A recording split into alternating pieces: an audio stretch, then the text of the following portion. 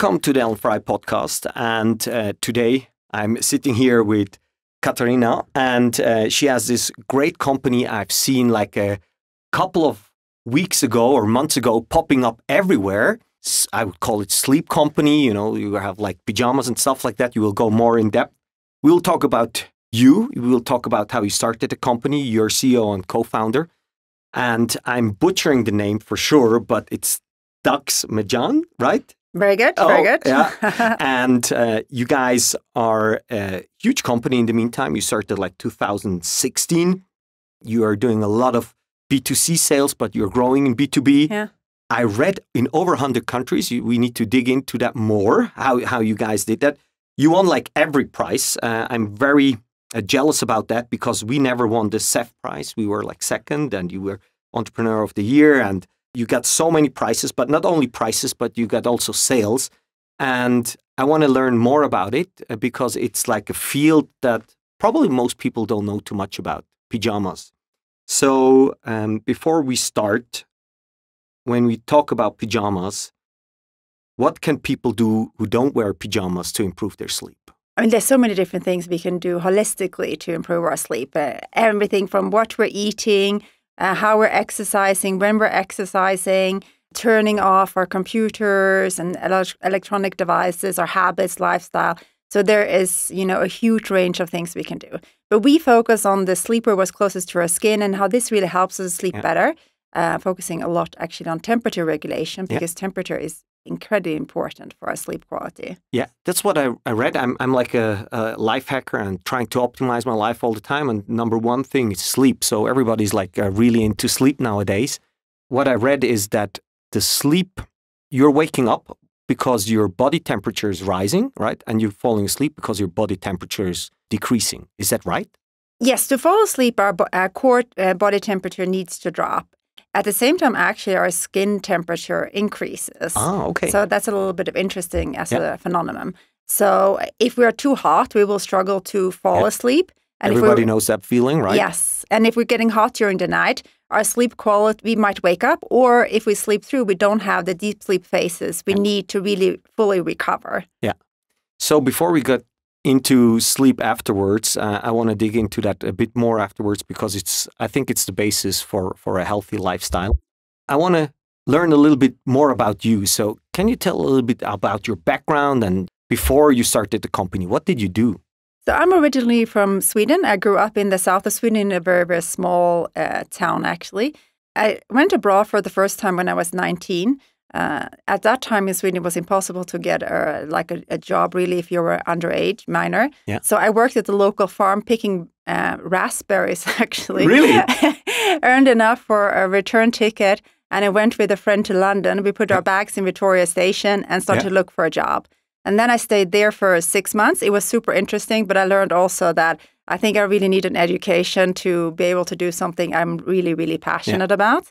So I went back to Sweden. I completed my master's at the Lund University.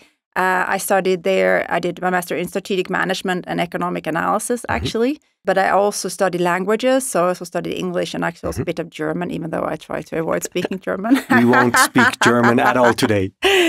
And then I was offered a job at an international company focusing on cosmetics and wellness, Yeah. So I started there in Sweden. It was a Swedish company. And then I was moved to their head office in, in Brussels. So I lived there four and a half years.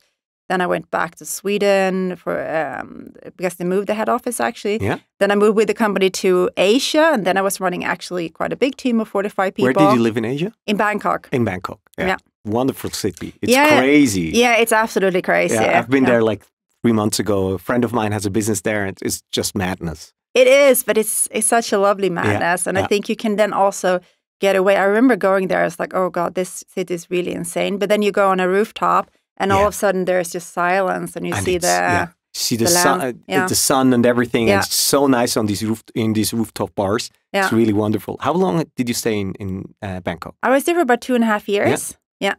So I was working regionally because they had the the regional head office in Bangkok, which is kind of in between our core markets, which was China, India, and Indonesia. So Mm-hmm. Actually, Thailand itself was a very very small market, uh, but it was well placed uh, geographically.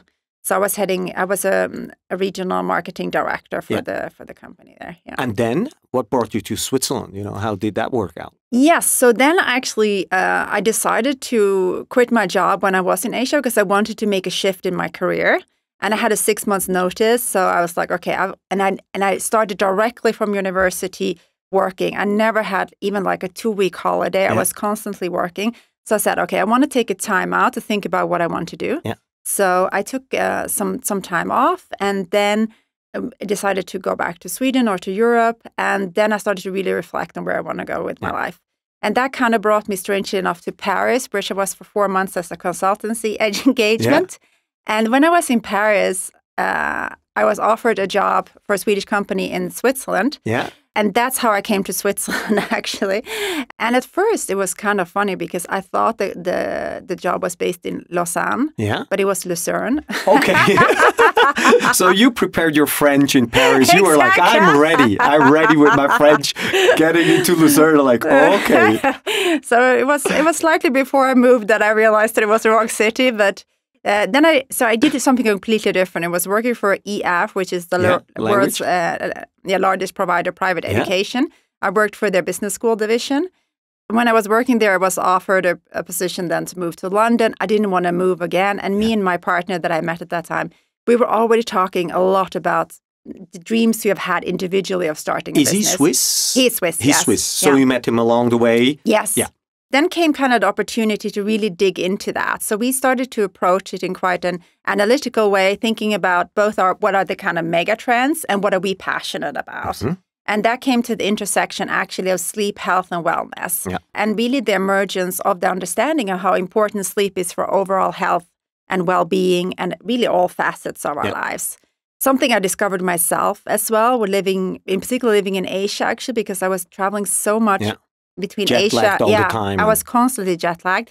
And when you're always tired, it really, really impacts your life Yeah. quite negatively. And then we started to, we are both doing quite a lot of sports. We started to think how strange it is that in sports where there has been so much happening in terms Yeah. of understanding fiber technology and, and construction techniques and how that impacts performance and comfort, but nothing happened in sleep. Yeah. We spend a third of our lives sleeping, but we spend that time in one of the least innovative uh, items around traditional pajamas. So we had the idea to reinvent sleepwear and Yeah. to really look at how we could have a functionally optimized sleepwear. Just very short. Was there like a role model for that, or was there like nothing at this time when you had this idea? You know, was there like another company doing something similar, like the large brands we know, like the Calidas of this world? Were they also into sleep tech, or was that like nobody talked about that at the point when you started? I would say our inspiration came more from there are sportswear companies that really introduced it. Wearables and stuff yes, like that. but also like trackers and in, also even the mattress. You know, Yeah. people really start to think about sleep in a different way. So what we could see is that in so many areas where we were starting to optimize our sleep environment, but we didn't think about the clothes. Mm-hmm. So people could spend 10, 15,000 on a bed, but sleep in like a cotton pajama, for example, and that doesn't make sense. Mm-hmm. Yeah. Or you're tracking your sleep, but you're not doing something that you easily could do to optimize your Yeah. sleep, then what's the point? Yeah. Um, so that was really our inspiration. The big players like uh, you know Calida and and um, Mey and Zimmerli and so forth, they they really focus more on apparel. So Yeah. it's the underwear, it's the swimwear, and then kind of nightwear, more as clothing, but not really from a how it actually supports our sleep. Yeah. I have a lot of friends who bought now like this uh, eight sleep and stuff like that to cool down their mattresses, and we will talk about that afterwards. So let's dig into your brand.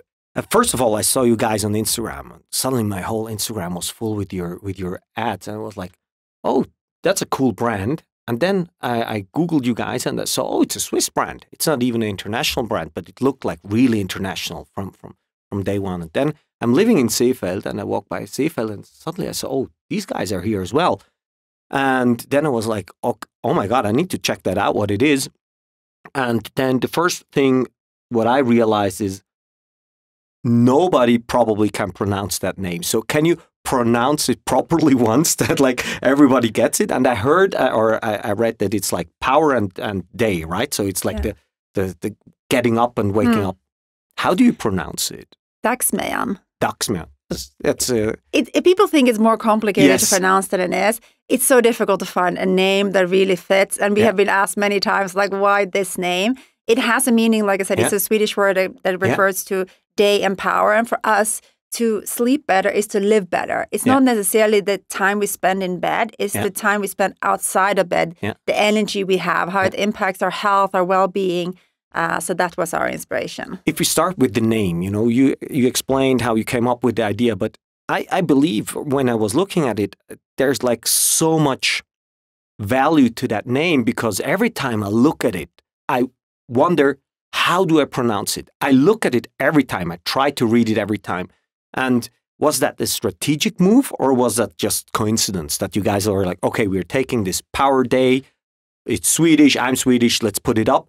Or was it like a strategic approach where you guys were like, let's take a complicated name and start with a brand, or for people around, they don't know how to pronounce it, and just being a topic of talking about it all the time? Was it like a strategic marketing idea? It was something we consider. It was more of a negative than a positive. We we felt, Mhm. uh, but obviously, when you look for a name, for us it was we knew we were going to be a digital business, so we needed to have a dot .com domain available, which is super difficult to find actually. Yeah, it's Um, awful. It's yes, awful. There's this all these domain Yeah. buyers, and Yeah. it's it's so. What was it free? Yes, Yeah. it was free. So we had it. So we have dagsmejan.com, .co.uk, .ch, .ee, .fr, uh, .se. I mean, we have all the variants. Yeah. Uh, so that was one factor. Do you need all of them, or are you just doing everything through dot .com? Uh, we we use all of them. Actually, we at the moment have separate websites Yeah. as well. There's more of a technical reasons behind it. But otherwise, um, some of those domain domains are just like redirecting to Yeah. to a main domain. Yeah. But I still think it can also make a difference in just showing that we are available on a local Yeah. level. But then it was for us having something that is for both men and women has shows this kind of affinity to nature as well, a link to sleep, and is a a, not too gimmicky either. Mm-hmm. This was kind of our inspiration. Then we were aware that it could be difficult to pronounce. Yeah. And that that could be problematic. But on the other hand, you have so many weird names out there, right? So many. Hestens, Take Octavix. Skype, yeah. another Swedish company. It's like Yeah. nobody could pronounce Yeah, yeah. Skype in the beginning, right? Yeah. Like, oh, how do you pronounce that? Yeah, or Fjällräven or whatever. I Yeah. mean, there's so many different strange names. And as we also were uh, focusing on the digital business, obviously on a digital, you just need to be able to click through. Absolutely, yeah. What we also realized when we started the company, so as, as I mentioned before, I started a company called Amorana, and we were like really focused on can people pronounce it? And before we started with that company, it was called Love Box, like hmm. take love and box, right? And We hmm. were just we were just sending boxes with toys in it, and we thought like everybody can pronounce love and box. And nobody could pronounce it. Everybody was like Love Box because there's this band called Love Box, and it was a complete mess. So I, I just realized in a digital world, it's more important that you have like this visual effect that people see it and recognize it. And you guys have this beautiful branding. I don't know how, and uh, hopefully you can explain a bit more when we go into marketing. But I look at it and I recognize it immediately. Every time I look at it, I recognize it immediately. It has a similar font like the German news. It has a very similar font there, and but every time I look at it, I recognize it, and I realized for myself the pronunciation is not that important in a digital world anymore. Yeah. No, I think so. So, how did you guys start with the marketing? What I read and what I heard is like you guys were very good in PR, and right now I see you guys on uh, you know dominating social media, being on B two B, uh, having your own pop up stores. But let's start in the beginning because this is a podcast that a lot of entrepreneurs listen. I always tell them that one of the best marketing strategies is PR. The problem with PR, is at one point, people won't talk about your story again and again because they heard it. But how did you guys approach PR? Was there like a systematic approach to it? For us in the very beginning, the, the biggest uh, support for us in PR was actually our collaboration with uh, academic institutions in Switzerland. Mhm. So at the foundation of Dagsmejan was two Innosuisse projects, Yeah. so federally funded projects, together with EMPA, which is the um, Mhm. you know uh, federal um, institution, and- yeah, yeah. for materials and, Yeah. and research, and then the Hochschule in Lucerne. So Ah. uh, let me dig into that very quickly. So you guys is it their technology or did you find it or uh, how did that collaboration work exactly? Innosuisse is clear, you just mm. apply and then you get you get the funds and you get the program. But how does that work with EMPA?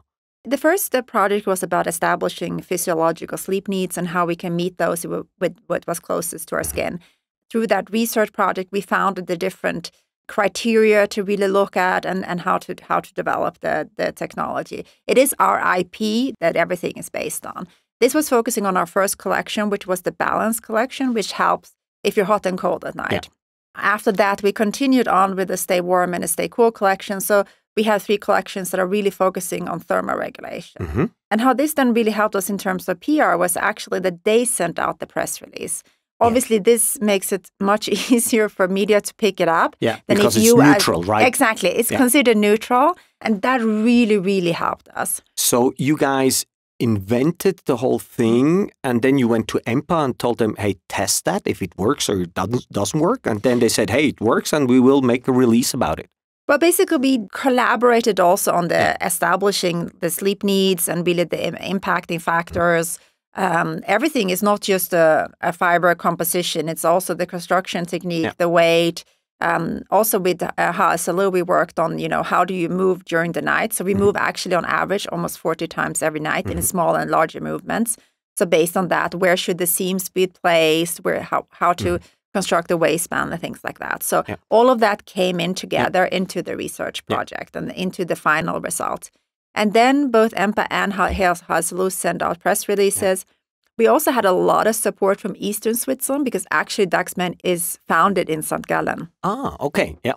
Because we were working with EMPA in St. Gallen, uh, and we were also part of the startup startup incubator there Startfeld in St. Gallen. Yeah. And Eastern Switzerland has a huge uh, history, actually, and legacy in terms of textiles. Yeah. So people were super... Wallisellen and stuff like that. It's huge textile. Yes. Right? So people were super excited about that. There was textile brought back into mm-hmm. Eastern Switzerland. So we had a lot of support also from that, from media, but also from people who were very, very excited. And we got so much great. Um, Eastern Switzerland will always have a special place in our heart, even yeah. if we're now located in Zurich it was just a big part of our first story. If I take like the bits out of that story, uh, I really believe thinking about PR, having local PR is often very helpful, which people underestimate at the beginning. They think they we need to be in Blick or in, in, in some international newspapers. But if you start in like local newspapers, other newspapers will pick that up, right? So it's easier to get into a local one. You have like some connection to it. And the second thing that I uh, also love about your story there is that you guys are, you had like a neutral partner putting out the release. It was not you guys telling them, hey, we have this great invention. And that's so much more helpful if you can have like this neutral approach to PR. I think it's different if you want to be like in the Bilanz or in Handelszeitung and stuff like that. They want to talk to you. They want to talk about your business, your achievements. But if you want to be in mass media, they want to have like this neutral thing. They don't want to talk about you and your brand in the beginning, mm. right? Yeah, exactly. And I mean, in the end, it's much more positive for a brand that they talk about the product than about you. Yeah. I mean, particularly in the beginning, when we were featured in a newspaper or on TV as well, we could see a direct jump in sales. Mm-hmm. And it's much more visible when it's related to our sleepwear than if it's about me as a person. Yeah. So in that sense, I would always prefer to that they talk about Dagsmejan rather than about me. Yeah. In uh, you know because it's just having more of an impact. So you had this this great boost in PR. How does your PR strategy look like now? Can you replicate that PR strategy like abroad? How do you do it like now in Switzerland? How do you approach that? Because it seems like the basis of your product uh, marketing was PR getting the story out, right? How do you do it today? It is, as you were mentioning earlier. Obviously, once the a newspaper has written about you, they're not going to publish ten more articles that exactly. that year. So, for sure, it is getting more and more difficult to be featured. We are working now in Switzerland with our PR agency, mm-hmm. actually, mm-hmm. that we Which started. PR kiosk, yeah. they're. Yeah. With that, uh, we are getting featuring as well. We also do some sponsored articles yeah. and other collaborations yeah, I like saw that. that. You you did a lot on 20 minutes and, yeah. Uh, and yeah. we we did that as well with Amorana. That mm. that worked really nicely. Yes, it, cool. it, yeah, exactly. It's actually working quite well. Yeah. Then international, we also had uh, PR agencies. We have a PR agency in the U.S. In the US, it's much easier to get in, actually. I Mhm. mean, the, the journalists, we focus very much on a sample basis. Yeah. So we send samples to any journalist. And this is really for us what converts and what makes them write about Yeah. us. We are featured in so many different, in the US, in everything from USA Today, Reader's Digest. Uh, we've been in the Times, you know. Which um, of these articles had like the biggest impact where you saw like, was it St. Gallen Tagblatt or was it the US, US It was. Gallen Tagblatt for sure. it's the true. I mean, the, the tricky part is outside of Switzerland, we never saw the same correlation between an article and actual sales. right?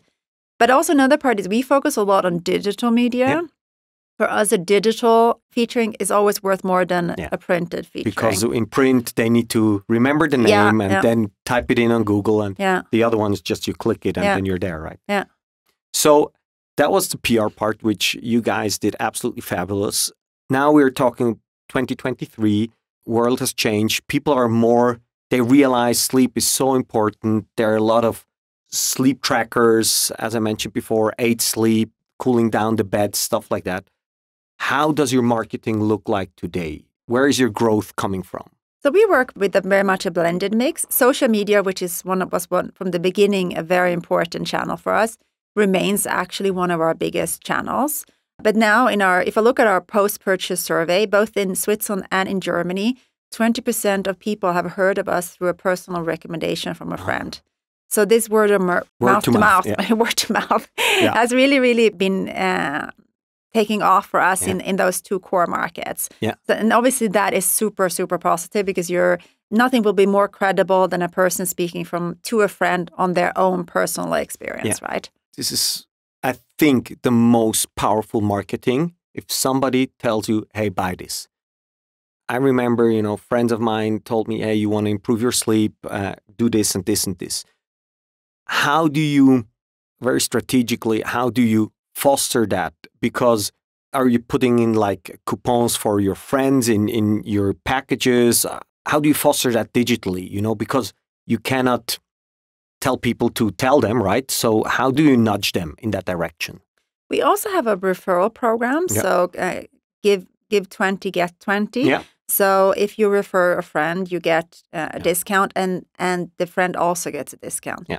But what is a bit funny in some markets is that referral, uh, like recommendation, is a big source, Yeah. but the referral program is not so popular. Yeah. And I think for some people, when once there becomes a, a financial incentive, it feels maybe not so genuine or Yeah, authentic exactly. anymore that they tell a friend. Yeah. And they might not care so much about you know, a 20 franc discount or Exactly. whatever. So this we see working better in some markets and less Mm-hmm. in others. So it is not so easy actually Mm-hmm. to actively encourage it. Mhm. We try to also always, you know, for example, around Christmas time, give the gift of sleep, Mhm. the gift we all need and want, and, and things like that. And giftables for sure is- for us is also a huge Mhm. opportunity and uh, and a big source um, of new customers. Mhm.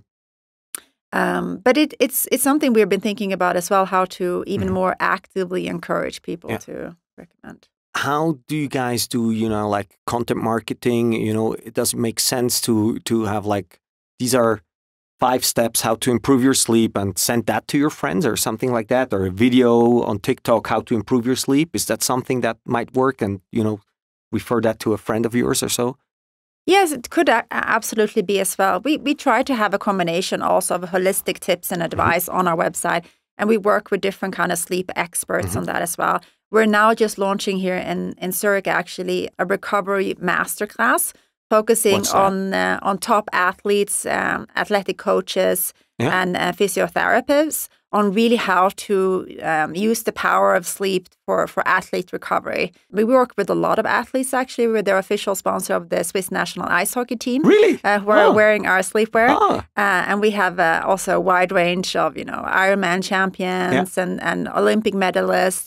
A lot of people who are wearing our sleep because Yeah. sleepwear because for It's so athletes, important. athletes are really focusing on this Yeah. now. I, I don't look like it, but I'm trying to get to the Olympics uh, in curling. Okay. So I'm in the curling national team for the Oh. Philippines. Oh wow! Yes, exciting. yes, uh, and uh, so I will check that out. I will yeah. check that out. Yeah. Another thing you guys did, which which impressed me a lot. So we had like this COVID boost through online, and after that COVID boost online, I saw you guys open like the store in, in Seefeld, and I see you guys more and more in large retail uh, stores.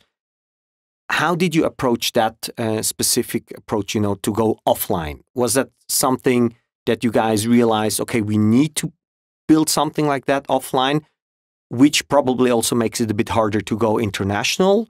Probably through B2B a little bit easier, but you know, just opening shops everywhere, it's quite expensive, right? So how do you approach that that offline growth? Actually, from the beginning, we always had the three pillars of entering any market. So it would be a physical presence, mm-hmm. a digital presence, and earned media. Mm-hmm. So we always try to focus on those three. Yeah. Um, now the physical presence has shifted. So when we started in Switzerland, um, we focus a lot on sleep shops. There are so mm-hmm. many shops out there selling beds and bed systems. Oh. And we were selling through them. And yeah. that was great for us because it helped us also position ourselves yeah. as different than from from the Calida or the regular yeah. apparel brand. Yeah, that makes a lot of and sense. And they are right? used to explaining products as well. Uh, now, as we're growing, you know, the traffic in those sleep shops are not high enough for for it really to help us to scale and grow. You buy like one bed. Yes. Every eight years, exactly. so it's like uh, for fifteen thousand francs, as exactly. you mentioned. Yeah. Exactly. So with that, we really wanted to go into bigger, uh, bigger partners. Yeah. So that's why now at the moment in Switzerland, for example, I mean, we're in Globus, we're in Jelmoli, we're in Loeb, but we're also in, in health and wellness resorts mm-hmm. like Bad Ragaz, for example. Uh, we're in Belldona, and we are in also many smaller shops, mm-hmm. actually. Yeah. Obviously, when you're starting out, it's very, very difficult to get into the big yeah. shops as yeah. well. So this is also, it's not always a question of do you, if we want to be in or not, if it's, are they going to take us in or not? Yeah. So that's where as our brand grew from the kind of grassroots. It's, it's yes. changing, right? Yes. Now they want you. Yes, right? exactly. Yeah. So that's that's definitely a big shift. You guys are in you sold items in over 100 countries. So my first thought was like, okay, that's really complicated. Because when we started the company, we were only in Switzerland and we tried abroad and that was a big mess. And then I I read that like over 100 uh, countries, and I was like, I need to ask you, how do you guys set that up? Is it something like you tried in over 100 countries and now you're pulling back again and focusing on core markets? Or is it like, okay, no, this strategy works uh, worldwide, we're from day one worldwide? Or is it like, a, as I mentioned before, like a, a, a regional thing? And how is the setup to go international? Because that's really impressive we decided from the get go to be worldwide because yeah. we always felt like there is we are a niche company in some ways. In some ways, we're a mass company because everyone sleeps everyone right. Sleeps, right. But on the other hand, it's not everyone who wants to really invest in their sleep and, and look for solutions. So we thought, okay, maybe it's more of a niche, but it's a global niche and it's a growing uh, segment of the market. And when you are starting digital, you can be global from day one. Mm-hmm. Obviously, shipping out of Switzerland exactly. is difficult. That's so we, a, that's a yeah, hassle, right? Yes. So we actually, from the beginning, had two warehouses. Mm-hmm. We had one in Switzerland, Switzerland, and one outside of Switzerland in the EU space. Yeah. At the moment, we have actually one warehouse now. We oh. we merged again last year in EU. Yes. And then send it yes. into Switzerland, like yes. Zalando and all the yes. other ones. Yes. Oh, yeah. This is a big help for us because we have so many SKUs. Yeah. So it helped us to almost half our inventory actually, yeah. because you never had the right products in the right yeah. warehouse. We had to sh ship between the warehouses and so forth. It was just quite a complication. And you know, like sending. So you have like EU. I get that, but how do you send to the US? Is it easy today from Germany to send to the US? It is very easy. Uh, of course, it's more expensive, but it is very easy. And we actually ship within two business days to the US. So we have many US customers saying to us, hey, you know, it, it arrives quicker than if I'm yeah. ordering from the East Coast that I live on the West Coast, for Crazy. example. So that's actually not a problem. Yeah. But in reality, we focus on some core markets, yeah. but we distribute worldwide. And the core markets for us are Switzerland, Germany, the US, and the UK. Yeah. After Brexit, the UK has gone down a little bit, but those are our core core. And then if we is it harder to send to the UK yes, now? Yes, it is. But you still do it from the warehouse. Yes, yeah, we still do harder. it. It's harder and it's more expensive because yeah. you have to have so many different documentations. Yeah. Uh, so it's just a little bit more tricky. Yeah. Um, and I think a lot of the customers in the UK got a bit burned after yeah. Brexit because they ordered goods and then had to pay customs fees. Customs and yeah. Uh, and all of that. So that that became a little bit more tricky. So is it more expensive for you or for the customer? So we carry the cost. So if they place an order about above 150, we we pay for the for the shipping, and we also have free returns. So in that sense, it is more expensive for us, which we then compensated by increasing the prices for the UK a bit and things like Yeah. that. Yeah. yeah, because that I, I believe that's there are very few brands who can handle like a global uh, distribution and i saw it myself. Uh, we had something like 18000 thousand skus it was a nightmare. And seeing companies uh, who do that you know owning their brand obviously we were a bit different because we had like multi-brand. You have single brand and uh, seeing that that that is possible. Sending to the us in two days it's fascinating for me and i need to think about that again. Yeah, yeah, yeah. so let's jump a little bit towards the end your sleep routine because as mentioned before beginning of this year i, I was massively overweight. I, I was snoring uh, and i decided to go to the olympics. Uh, that was my plan or is still my plan. And now i'm like okay optimizing everything and i realized okay with all these life hackers around and, and optimization junkies sleep is like the new religion. It's like number one you can improve everything else but everybody starts with sleep. So you're in this absolute beautiful niche. What is your personal sleep routine? How does it look like? Uh, you were thinking about sleep a lot. So i, I want to piggyback on your on your experience in, uh, directly. I think what's helpful is to use a tracker in the beginning to really see what makes an impact on your own sleep quality because I think it's also very personal.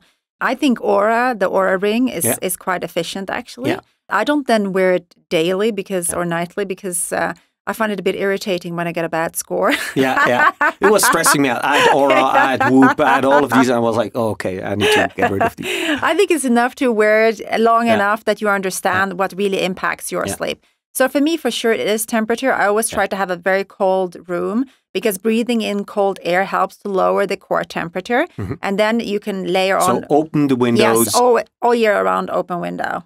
through the night Yes. okay yeah Um, And do you do like a friend of mine recommended to me like get a hot shower in the evening because that drops your temperature yes. as well. This is another uh, hot shower or hot bath before Yeah. going to bed. Then your your your temperature will afterwards drop more quickly Yeah. and it'll make you sleepy. So this will help you to fall asleep, not to stay asleep Yeah. necessarily. But there are also other tricks like that. For example, if your hands and feet are cold, for example, Mm-hmm. we cannot actually. It's very difficult to fall asleep because it signals to the body that you're kind of freezing. You are So dying. Yeah, exactly. Don't it's sleep, you are exactly, dying. Exactly. Don't fall asleep in this, you know, snow pile or whatever. Um, so by warming up our hands and feet, we do you have gloves? We don't have gloves, but we have actually socks, sleep Yeah, socks, yeah. that are also helping them not to overheat during the night. So I think temperature, obviously, wear Yeah. wear the right sleepwear, the right bedding, have a comfortable bed, understand what means comfortable to you. Also, when it comes to to pillows, uh, for me, what's super important also is Do you food. have a thick or, or, or a thin pillow? I have a super thin pillow. Yeah, that's also what I uh, I was in massage recently, and the guy was like, most uh, back problems are because people lie on on Mm. too thick pillows. So I exchange that a super thin Yeah. pillow, and I only sleep on the back. How do you sleep there? Yes, I also sleep on the back. Actually, yeah. Do you tape your mouth? No, Uh, I Mm. do that. Mm. Uh, I'm not sure if that helps uh, at all, but I, I No. started taping. yeah. So what else do you do? So for me, uh, what I realized apart from that is very, very important is is food and obviously also Yeah. alcohol. I mean, I love a glass of wine, but let's let's be honest that drinking alcohol does lower your sleep quality. Massively, Um, massively. yes. People don't realize. Yeah. You think you sleep good after a glass of wine or two. Mm. If you look at your Oura ring, it's awful. Yeah. So I try to just be my. I'm I'm still drinking wine, but Mm-hmm. I'm definitely more mindful. I also food has a big impact on me, so I try Mm-hmm. What do you eat in the evening? I try to eat very light in the Yeah. evening because otherwise the metabolism, your stomach is working the whole night. But not salads, I heard. Like salads shouldn't be eaten in the evening, right? Or- Yeah, I mean, it depends. On, I think it's a personal Okay. thing. Some people say chicken is not good. Some, I mean, I don't know. Yeah. I think it's more to not have like very heavy food, Yeah. like raw, like uh, red meats or you know deep fried or some, or even just not eating too much. Yeah. Actually, Yeah. then for some people, obviously, caffeine is is a big factor. For me, it doesn't matter. I can Yeah. drink a, uh, an espresso at ten o'clock, and Yeah. it doesn't impact me at Yeah. all. Then in general, it's, it's general things like uh, exercise, for example. Don't do sports too late because then you can be a bit overhyped and also uh, Yeah. too hot to fall Yeah. asleep. But still, obviously, exercise is super important. During the winter, I think it's also important to go outside during the day because and to expose ourselves to natural daylight Yeah. because otherwise our our uh, sleep wake rhythm can get kind of out of whack because we don't see uh, any natural light. Yeah. And obviously also phones, right? In the- yes. because what I read recently is that when the sun is going down and it gets dark, we get a boost of being a bit more awake because we needed that small boost because when it became dark, we needed some more energy to get home because it was like, okay, we are not at home. We need some energy to get home and then we can fall asleep. So you have like this small boost and then it goes Mm. down. And, and if you are looking at the phone, you, you can't sleep and you get this boost first and then Mm. your your sleep's complete. So do you have your like your phone in your in your bedroom or is it like outside? Sorry Uh, for being so specific, but I'm a Yeah, sleep absolutely. junkie. I mean, also uh, for the kind of uh, many people recommend to not have the phone in the Mhm. bedroom for the light, but also for the radiation and things Yeah. like that. But uh, but I actually do have it. Yeah. I must admit. So Yeah. I think it's about finding for yourself what is the level that works for Yeah. you and what are the main levers that that are important for you. Uh, I think that's more important than trying to optimize every aspect because you can also become a bit obsessive about it. Uh, and one thing me. that really helps, what one people that really prevent thing that really prevents people from sleeping well is actually stress. Yeah, exactly. So if you're really stressing yourself out also about sleeping well, taping your mouth and everything. then like- obviously you're not going to sleep so Yeah. well. So also it's it's it's so interesting. I think it's it's such a you know the mental health or well-being, uh, physical well-being, everything is so tied in together, uh, and uh, really uh, all focusing um, on the sleep as well. And let's talk about now about your products because you know after after this interview this afternoon I will go into the shop and buy this. I, I didn't want to buy it before. I want to buy it before to impress you, but then I realized no, I want to ask you first what I need to buy. I'm a typical person. I would say you know probably hear a lot of them. I probably feel a bit too warm. I don't feel that cold. When it it's probably a bit too warm and I don't know exactly what to buy. So usually I have like a merino shirt and underwear. I go to bed and I have like my, my normal blanket and, and pillow. But what would you recommend for, for me? What should I buy? Also with the aspect of I travel a lot and I don't want to bring too much things. So what should I buy?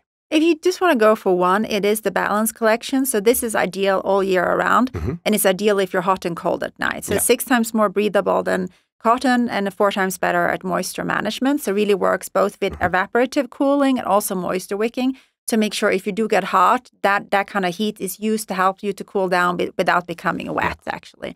So this is really, really great for that purpose. Then during the summer, our Stay Cool collection, which is eight times more breathable than cotton, is is extremely popular. Mm-hmm. And during the winter season, our Stay Warm collection with merino wool is giving that kind of because it's a mix of merino wool and also eucalyptus fibers. It gives that lightweight warmth. So like I need to buy all three of them. Well, right now, maybe start with balance. That Yeah. would be good. But also, when you go to the Olympics, you could try our recovery collection. So Yeah. this is actually using a mineral pr- print, Yeah. and this mineral print reflects back infrared energy that our body naturally Yeah. emits, Yeah. which helps to oxygenate the muscles to to, improve recovery. Yeah. Infrared is great for Mm. recovery, right? Yeah. Um, and is it like the pants and the shirt, or or do you have like wh- what would you recommend there? Because I never had like pants, um, like this guy t-shirt and and underwear, you know. And I'm not sure if I would feel very comfortable in the beginning to to wear these. You know, like okay, there's something on my leg. How, what would you recommend there? So we have a complete mix and match uh, Yeah. setup. So you can choose a long sleeve with shorts. We also have sleep underwear, for example, if you prefer a boxer or briefs. Um, so it's really a personal preference Yeah. what what works best for you. And last question: as a as a male, how often do I need to wash it? It depends entirely on uh, how much you sweat, I Yeah. would say, basically.